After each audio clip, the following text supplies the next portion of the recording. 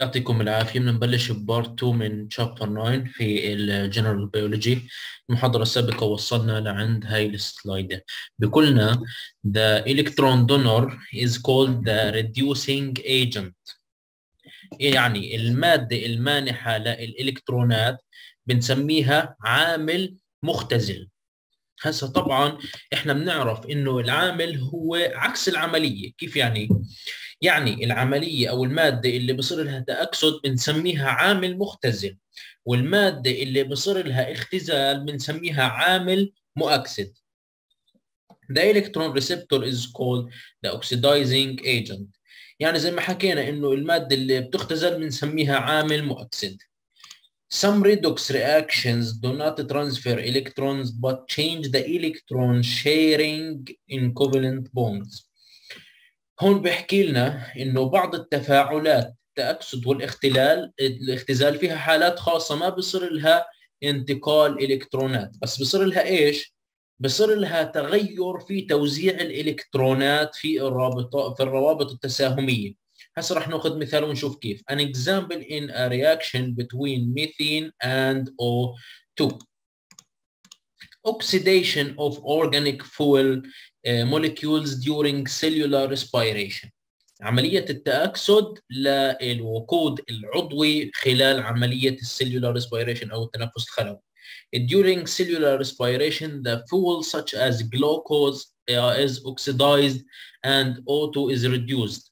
يعني أي شيء بتفاعل مع ال O2 بصير له oxidization وال O2 نفسها بصير لها إيش؟ reduction.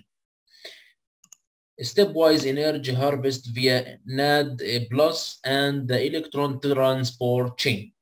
طبعا حصاد الطاقة من المواد العضوية ما بيكون مرة واحدة بيكون في خطوات تدريجية. عن طريق إيش؟ اللي هو ال NAD plus أو ال NAD plus بدنا نعرف من إيش بتكون وأكثر تفاصيل عنه خلال السلايدات.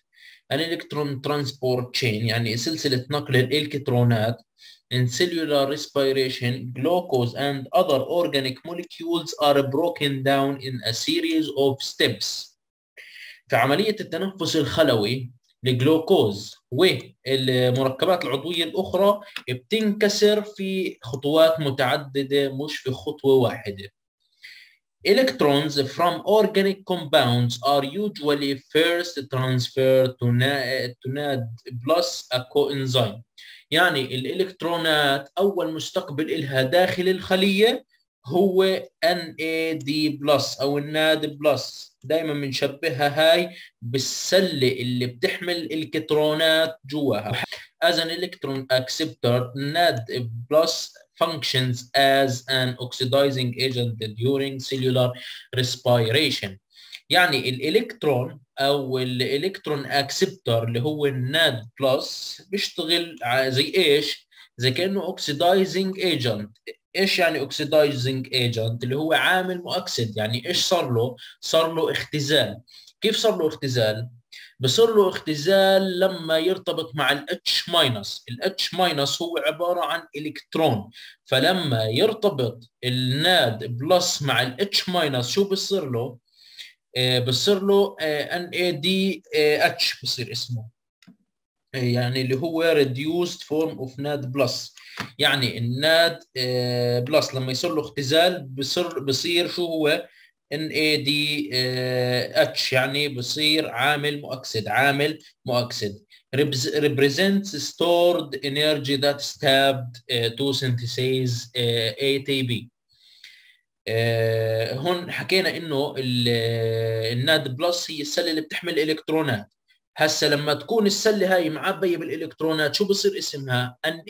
NADH هاي السلة لما تنتقل على مكان معين راح نجي ونحكيه بتطلع إلكتروناتها بتفرز إلكتروناتها عشان يصير إيش تصنيع لل ATP يعني ال NADH هي عبارة عن سلة بتحتوي على الإلكترونات مفيدة في عملية تصنيع ال ATP بهاي الرسمة بتوضح لنا تركيب جزيء ال NAD+. قبل ما نبدأ بدنا نتعرف على اسمها. NAD plus nicotinamide بسموها أو ال oxidized form. خلينا نبدأ نفصلهم كلمة كلمة. بنبدأ من ورا. dinucleotide اللي هو عبارة عن إيش؟ نيوكليوتيدات. تذكروا أخذنا في chapter 5 عن النيوكليوتيدات وأخذنا ال nucleotide بتكون من إيش؟ بتكون من مجموعة فوسفات سكر رايبوزي خماسي بالإضافة إلى القاعدة النيتروجينية كانت مجموع اللي هو النيوكليوتيدات شو بتسوي؟ بتسوي سلسلة ال DNA صحيح؟ فهون لو نيجي نتفرج على التركيب نقسمه من النص بيجي عندنا هون إيش؟ nucleotide من نوع أدينين لأنها هاي القاعدة النيتروجينية من نوع أدينين وفي عندنا ال nucleotide اللي هو ال nicotinamide هي هذا اسمها مشان هيك سموها النوكي nicotinamide oxidized form. بنيجي للجزء الفعال من الجزيء اللي هو ال nicotinamide اللي هو اللي بتحكم إذا كان المركب هذا على شكل reduction form أو oxidation form ال oxidation form لل NAD اللي هو ال NAD plus يعني هذا إيش؟ الجزء المؤكسد منه. عشان يتحول ل reduced form لازم يتفاعل مع ال H اللي هو جزيئين من ال H هي مثل ما أنتم شايفين هون. ال H طبعا هو بتكون من بروتون وإلكترون. 2H يعني بتكون من إلكترونين وبروتونين. الإلكترونات بتتفاعل مع ال NAD plus وبتكون عندنا إيش؟ NADH زي ما عندنا هون NADH هو السله اللي بتحتوي على الإلكترونات زي ما حكينا قبل شوي واسم الإنزيم شو هو؟ ال dehydrogenase ال reduction of NAD أو NAD plus اللي هو ال NAD plus NADH ال oxidation of NADH اللي هو ال NAD plus يعني بتحول من oxidation ل reduction تمام؟ حكينا ال NADH هي عبارة عن سلة بتحتوي على إلكترونات. أي إلكترونات لازم يوديها لمكان معين. علشان إيش؟ علشان تصنع ال ATP شو هذا المكان؟ هو ال electron transport chain electron transport chain سلسلة نقل الالكترونات اسمها سلسلة نقل الالكترونات يعني لازم يوصلها الكترونات وتبلش تنقل فيها. يعني ال NADH شو وظيفته؟ وظيفته إنه الالكترونات اللي حاملها في هذه السلة يوديها ل ال electron transport chain Unlike an uncontrolled reaction, the electron transport chain passes electrons in a series of steps instead of one explosive reaction. هون عندنا نوعين من ال reaction controlled و uncontrolled الفرق بينهم ال uncontrolled بيصير له بيصير في خطوه واحدة فمثلا ال H2 مع ال O2 بعطيني H2O تمام اما ال controlled reaction بصير في عده خطوات ال controlled يعني التفاعل بعطي ناتج هذا الناتج برد بتفاعل برد بعطيني ناتج وهكذا. ال electron transport chain هو عبارة عن إيش؟ controlled reaction مش uncontrolled يعني بصير في خطوات متعددة. O2 pulls electrons down the chain in an energy yielding tumble. هسا إحنا بدنا نعتبر إنه ال O2 زي كأنها إيش؟ زي كأنها مغناطيس قاعد بيجذب الإلكترونات في ال electron transport chain يعني هو عبارة عن إيش؟ عن سلة نهائية للإلكترونات. سلة نهائية للإلكترونات. يعني الإلكترونات بتضلها تمشي في ال electron transport chain لحد ما توصل لل O2 لحد ما توصل لل O2 the energy uh, yielded is used to generate regenerate ATP هاي الطاقة الناتجة عن حركة الإلكترونات هاي الطاقة بنستخدمها منشان نصنع اللي هو ال ATP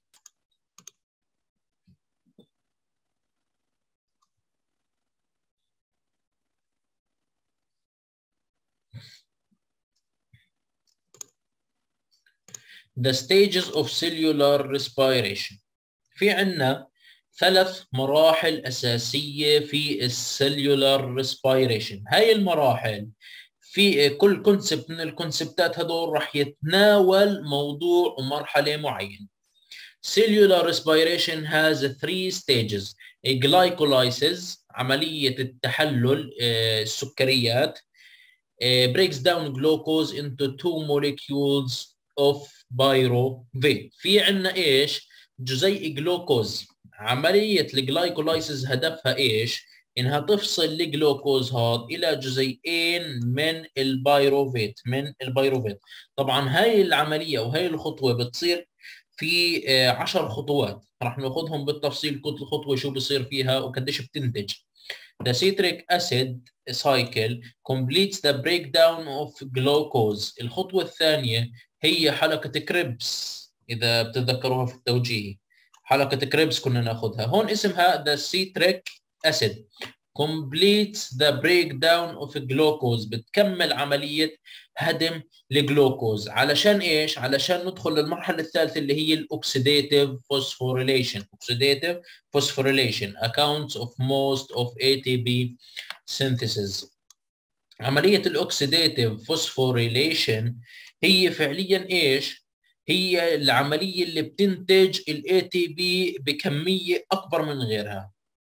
يعني ال glycolysis وال citric acid بينتجوا ATP نعم صحيح ولكن بكميات قليلة جدا مقارنة بال oxidative phosphorylation أغلب ال ATP بينتج في هاي المرحلة اللي هي الثالثة. هون عندنا رسمة مختصرة للثلاث عمليات اللي حكينا عنهم. أول عملية حكيناها اللي هي ال glycolysis اللي هي هدفها تحويل الجلوكوز إلى pyruvate. الجلوكوز إلى pyruvate. عملية ال glycolysis بنتج منها شغلتين. ATP من خلال عملية اسمها ال substrate level phosphorylation أخذناها قبل شوي والناتج الثاني اللي هو ال electrons carried via NADH اللي هي ال NADH يعني ATP و NADH ال NADH اللي هي سلة الالكترونات اللي هي الناتج الثاني من عملية ال glycolysis. عملية ال glycolysis وين بتصير؟ بتصير في ال cytosol تبع الخلية. المرحلة الثانية اللي هي من مراحل ال cellular respiration اللي هي ال citric acid cycle اللي هي حلقة كريبس ال citric acid cycle بتتم بثمان خطوات ثمان خطوات. الثمان خطوات هاي بتنتج ناتجين.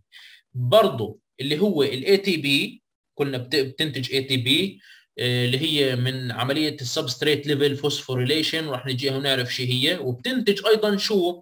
إلكترونز كاريد فيا ناد اتش اند اف اي دي اتش 2 اللي هو نوع جديد من ال electron carriers اللي هي سلة ثانية بتنقل الإلكترونات بتم إنتاجها في ال citric acid cycle. وين بتصير ال citric acid cycle؟ طبعا مش في ال cytosol في الميتوكوندريا. ال glycolysis في ال cytosol وال citric acid في الميتوكوندريا. في شغلة لازم ننبهكم عليها اللي هي ال pyruvate مش هو اللي بدخل لداخل الميتوكوندريا. اللي بصير إنه بصير له عملية أكسدة. بعد عملية الأكسدة بيطلع من شيء اسمه acetyl coenzyme A. سمعتوا فيه أكيد. acetyl coenzyme A. رح نعرف كيف بتكون. وهذا هو اللي بدخل لل citric acid cycle وبدخل للميتوكوندريا يعني مش ال pyruvate هو فعليا نفسه اللي بدخل لل citric acid cycle والميتوكوندريا. أما المرحلة الأخيرة اللي حكينا عنها اللي هي ال oxidative phosphorylation اللي هي عبارة عن خطوتين electron transport chain وسبق وحكينا عنها ولكن راح نجيها بالتفصيل. إحنا راح نعرف كيف بتشتغل و chemiosmosis chemiosmosis برضه راح نشرحها بالتفصيل. ال oxidat ال oxidative phosphorylation حكينا هي اللي بتصنع أكبر عدد ممكن من ال ATP ليش بتسوي هذا الحكي؟ لأنه إذا لاحظنا إحنا إنه الاي دي اتش والاف دي اي دي اتش المنتجات في أول خطوتين هم مدخلات عملية ال oxidative phosphorylation عشان هيك بتحفز تفاعلات ال redox reaction اللي هي تفاعل تفاعلات التأكسد والاختزال. وهي التفاعلات بتنتج اللي هو ال ATP بكميات كبيرة. من خلال عملية اسمها ال oxidative phosphorylation. إذا قارنا ال phos substrate level في المرحلتين هذول ومع اللي هي ال oxidative phosphorylation ال oxidative phosphorylation بتكون أكثر. هون زي ما حكينا the process that generates almost uh, 19 90 uh, 100 of the ATP is called oxidative phosphorylation. حكينا إنه ال oxidative reaction بتم انتقال الكترونات وهذا الانتقال هو اللي بولد الطاقة اللي من خلالها أنا بقدر أنتج اللي هو ال ATP طبعا نسبة ال ATP الناتج من ال oxidative phosphorylation اللي هي 90 بالمية مقارنة بالخطوة الأولى اللي هي ال glycolysis والخطوة الثانية اللي هي ال citric acid cycle. A smaller amount of ATP is formed uh, of glycolysis and a citric acid cycle من خلال عملية شو اللي حكينا عنها ال substrate level phosphorylation وراح نشوف هاي العملية في ال slide القادم إن شاء الله. طبعا هون الصورة هاي بتوضح لنا طريقة تحول اللي هو ال pyruvate إلى acetyl coenzyme A. طبعا ال pyruvate لما نلاحظ هو بتكون من ثلاث ذرات كربون بيدخل إلى الميتوكوندريا عن طريق ال transport proteins. أول خطوة بتصير له إيش هي؟ بيطلع منه جزيء CO2 الخطوة الثانية هي إنه ال NAD plus بتحول لإيش؟ ل NADH يعني بنتج عندنا NADH نتيجة لدخول اللي هو ال pyruvate إلى داخل الميتوكوندريا الخطوة الثالثة اللي هو ارتباط ال coenzyme A مع ال pyruvate اللي هو اللي نقص منه اللي هو ال C CO2 بتكون عندنا اللي هو ال acetyl coenzyme A اللي مكون من ذرتين كربون مع مجموعة coenzyme A. During oxidative phosphorylation chemiosmosis couples electron transport to ATP synthesis. يعني خلال عملية ال oxidative phosphorylation في عندنا خطوتين بتحدوا مع بعض اللي هم ال chemiosmosis وال electron transport chain عشان يسرعوا اللي هو إنتاج ATP following glycolysis and citric acid cycle NADH and FADH2 account for most of energy is extracted from food. إحنا حكينا إنه ال glycolysis وال citric acid cycle بيطلعوا ال NADH وال FADH2 هذول حكينا عنهم اللي هو ال electron carriers اللي شبهناهم بسلة الكترونات من وين جاي هاي الالكترونات من الغذاء اللي إحنا بنتناوله These two electron carriers donate electrons to the electron transport chain, which powers ATP synthesis via oxidative phosphorylation. ال NADH وال FADH2 هذول اللي هم مش هم سلات الكترونات شو بيسووا؟ بيعطوا الكترون ترانسبورت تشين هاي الالكترونات عشان تشتغل، يعني اللي هو الإلكترونات هي عبارة عن بطارية لل electron transport chain من بدون إلكترونات هاي السلسلة ما بتشتغل. وبعد هيك بتتحد هاي ال electron transport chain مع ال chemiosmosis عشان إيش يعملوا؟ عشان يعملوا ATP من خلال عملية oxidative phosphorylation the pathway of electron transport. The electron transport chain is in uh, cristae of mitochondria. بتحدث عملية ال electron transport chain أو هي موجودة في الأعراف اللي هي ال cristae تبعت الميتوكوندريا. Most of chains component are proteins which exist in multi-protein complexes. معظم مكونات المك... ال electron transport chain هي عبارة عن بروتينات. هاي البروتينات وين بتوجد؟ كهيئة بروتينات complexes يعني إيش؟ يعني البروتينات متعددة بتؤدي إلى يعني بتكون بعمل وظائف كثيرة. يعني عندنا عدة بروتينات جنب بعض. كل بروتين بيكون بوظيفة بتساعد الأخرى. عشان هيك بسموها ال multi-protein complexes. بروتينات متعددة. The carriers alternate reduced and oxidized states as they accept and donate electrons. هون بحكي لنا إنه ال electron carriers يعني ال NADH وال FADH2 بتبادلوا أو بتناولوا في حالة التأكسد والاختزال. إما بيكونوا NAD plus أو NAD plus أو NADH يعني FADH يعني حسب اللي هو إذا أعطت إلكترونات أو استقبلت إلكترون. لما تكون حامله للالكترونات بتكون NADH أما إذا أعطت إلكترونات لل electron transport chain بصير إلكترون plus يعني NAD plus. electrons drop in free energy as they go down and uh, the chain are finally passed to uh, O2 هاي الإلكترونات هي عبارة عن مصدر أساسي للطاقة في ال electron transport chain وبتعمل drop لل free energy بالتدريج. يعني ما بتعمل drop مرة واحدة. إنتاج الطاقة بيكون بالتدريج. وبالأخير هاي الإلكترونات بتوصل إلى ال O2 يعني بنقدر نعتبر ال O2 هي عبارة عن ال final acceptor طبعا هذا سؤال في أسئلة سنوات سابقة ديروا بالكم. مستقبل الإلكترونات النهائي اللي هو ال O2 بس تتحد مع ال O2 شو بتكون عندنا؟ اللي هو ال H2O اللي هو المي. هاي الصورة بتوضح لنا البروتينات الموجودة في ال electron transport chain اللي حكينا عنها إيش؟ بتكون عبارة عن multi-protein complexes يعني بروتينات متعددة متجمعة مع بعضها وبتأدي وظائف متكاملة بتكامل بعضها البعض.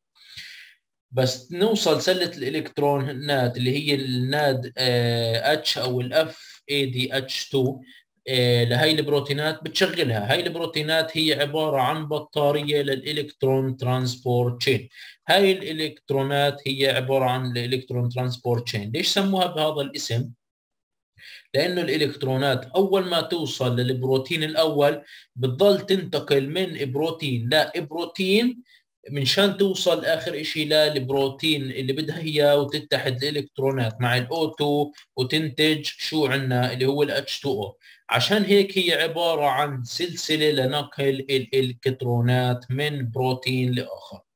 وهسه رح نعرف شو فائدة نقل الإلكترونات من بروتين لآخر. ليش قاعد ننقل الإلكترونات من بروتين للاخر شو الهدف من هذا الشيء electrons are transferred from NADH or FADH2 to the electron transport chain مثل ما حكينا انه نقلة الالكترونات اللي هن ال NADH وال F ال FADH2 بتنقل الالكترونات من عندهم لل electron transport chain عشان تبلش شغل electrons are passed through a number of proteins including cytochromes each with an iron atom to O2 هسه عندنا اللي هو هاي البروتينات اللي شفناها في ال electron transport chain بسموها ال cytochromes شو يعني cytochromes ال cytochromes هي عبارة عن بروتينات بتحتوي على مجموعة ال heme.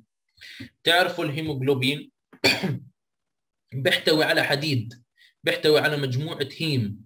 هاي مجموعة ال heme إذا ارتبطت فيه البروتين بصير اسم البروتين cytochrome each with an iron atom يعني اللي بيميز السيتوكروم هو ارتباط ذرات الحديد ال iron atoms مع البروتين نفسه.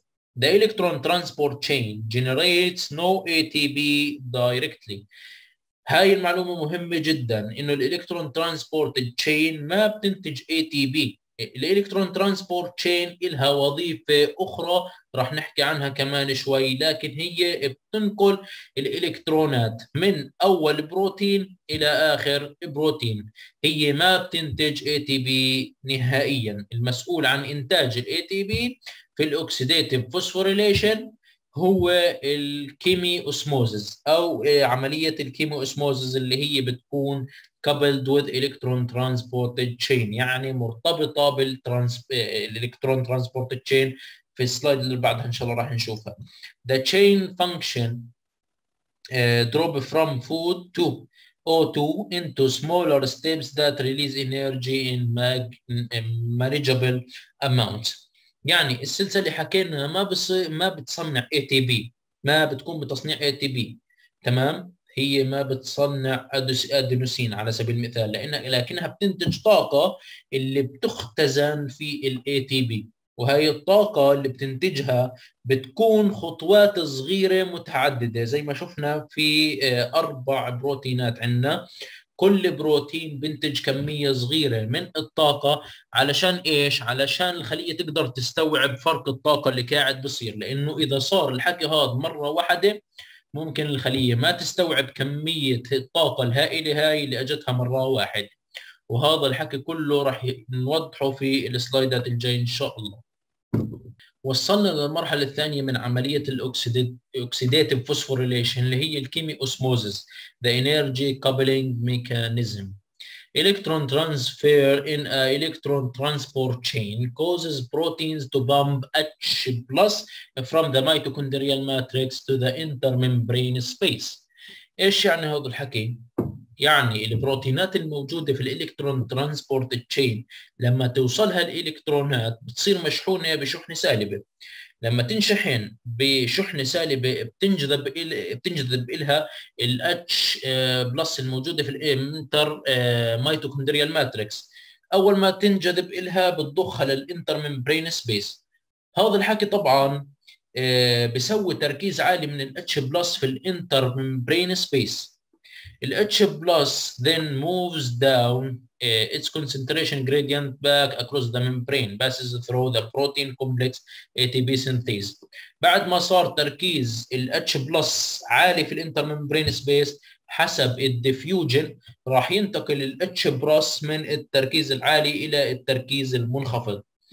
يعني راح يرجع ينتقل ال mitochondrial matrix عن طريق إيش؟ عن طريق انزيم بنسميه ال ATP synthase هذا ال ATP synthase هو المصنع الأساسي لل ATP في جسم الإنسان. اللي بيشغل ال ATP synthase هو ال H plus حكينا إنه بطارية ال electron transport chain هي الإلكترونات. لكن بطارية ال ATP synthase بتكون اللي هي البروتونات أو ال H plus ATP synthase uses the exergonic flow of H plus to drive phosphorylation of ATP هاي ال ATP synthase حكينا إنها بتستغل تركيز العالي الموجود في ال intermembrane space اللي هو التركيز العالي من ال H plus وبتدخل ال H plus من خلالها مشان تصنع ال ATP ليش حكينا exergonic إذا بتتذكروا في chapter 8 ال exergonic reaction كانت spontaneous يعني ما بتحتاج إلى طاقة. وهون حسب ال diffusion ما بنحتاج إلى طاقة. يعني إحنا قاعدين بنمشي down لل gradient عشان هيك بيكون التفاعل exergonic This is an example of chemiosmosis the use of energy in H plus gradient to drive cellular work. هون بحكي لنا كيف عملية ال chemiosmosis إحنا قاعدين بنستغل فرق التركيز بين ال H plus gradient علشان نسوي الوظائف الخلوية. لأنه لولا الفرق التركيز هذا ال ATP synthase ما بيشتغل. هون عندنا رسمة بتوضح لنا إنزيم ال ATP synthase وكامل أجزائه من شو بتكون. عندنا أربع أجزاء رئيسية لل ATP synthase أول جزء اللي هو ال stator في عندنا ال rotor في عندنا ال rod وال catalytic knob. ال rod وال catalytic knob إحنا ما بدنا نعرف الوظائف بالتفصيل تبعتهم لكن بدنا نعرف بعض الشغلات الرئيسية اللي بتخص كل جزء.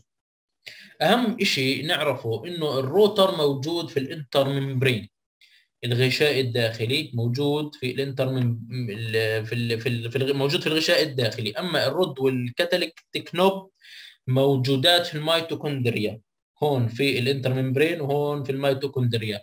عندنا جزئين من هذول الأربع أجزاء بتحركوا بلفوا اللي هم ال rod وال rotor ال rod وال rotor. راح نحكي بشكل مبسط عن ال ATP synthase أول شيء عن طريق ال stator بدخل ال H plus مثل ما أنتم شايفين بوصل لل rotor أول ما يرتبط ال H plus بال rotor هذا الارتباط بحفز التفاف ال rotor. بس يلتف ال rotor بتلتف معه ال internal rod. وهذا الالتفاف بحفز بعض التفاعلات الموجودة في ال knob ال catalytic knob اللي بتحول الاي دي بي لا اي تي بي الاي دي بي لا الاي تي بي في معلومة لازم تعرفوها إنه كل ثلاثة H plus كل ثلاث بروتونات مسؤولة عن تصنيع جزيء ATP واحد. يعني لتصنيع ال ATP الواحد بلزمنا ثلاث بروتونات. The energy stored in H plus gradient across the membrane couples the redox reactions of the electron transport chain to ATP synthase. شو يعني هذا الحكي؟ حكينا إنه ال electron transport chain بصير فيها redox reaction ليش بصير فيها ال redox reaction إذا بتتذكروا كان عندنا ال NADH بتحول ل NAD plus وهذا التفاعل بقلل من الإلكترونات اللي هو تفاعل تأكسد والاختزال redox reaction تفاعلات ال redox reaction هاي شو بتسوي؟ بتسوي فرق في التركيز ال H plus يعني بصير عندنا ال H plus gradient هذا ال H plus gradient هو المسؤول عن إيش؟ عن تشغيل ال ATP synthase اللي هي بتطلع ال ATP يعني ال H plus gradient سببه إيش؟ ال redox reactions الموجودة في ال electron transport chain عشان هيك بنسميها coupled reactions يعني تفاعل بنتج تفاعل آخر. redox reactions. أعطتني طبعا اللي هو ال H plus gradient. The H plus gradient is referred to the uh, as a proton motive force. طبعا مهمة جدا هاي اللي هي uh, emphasizing its capacity to do work بسموها هاي uh, فرق التركيز في ال H plus proton motive force اللي هي القوة الدافعة البروتينية بسموها هيك على علشان إيش؟ علشان يبينوا قدرتها في تكوين الطاقة. It's a capacity to do work. يعني ال H plus gradient هي المحرك الأساسي لعملية أو صناعة ال ATP. هاي الصورة بتبين شو إحنا شرحنا. ال electron transport chain وال chemiosmosis. طبعا ال electron transport chain مسؤولة عن إيش؟ اللي هي ال multi protein complex اللي إحنا شايفينهم هون هم عبارة عن بروتينات بتشتغل مع بعضها البعض لتأدية وظيفة متكاملة هاي الوظيفة إيش هي؟ هي نقل الإلكترونات من اللي هو سلة الإلكترونات ال NADH وإيصالها لوين؟ لل final electron acceptor اللي هو ال O 2 علشان نصنع اللي هو ال H2O كيف طريقة نقلها؟ طريقة نقلها كالآتي. أول ما تتفاعل اللي هي ال NADH مع هذا البروتين بتفرغ في محتوياتها من الإلكترونات.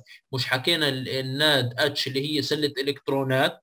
فلما تفرغ إلكتروناتها في البروتين البروتين بصير مشحونة بش... مشحون بشحنه سالبه وهذا الحكي شو بيساوي؟ بخليه يجذب بروتونات موجودة في ال matrix اللي هي ال mitochondrial matrix. هذا هو ال mitochondrial matrix.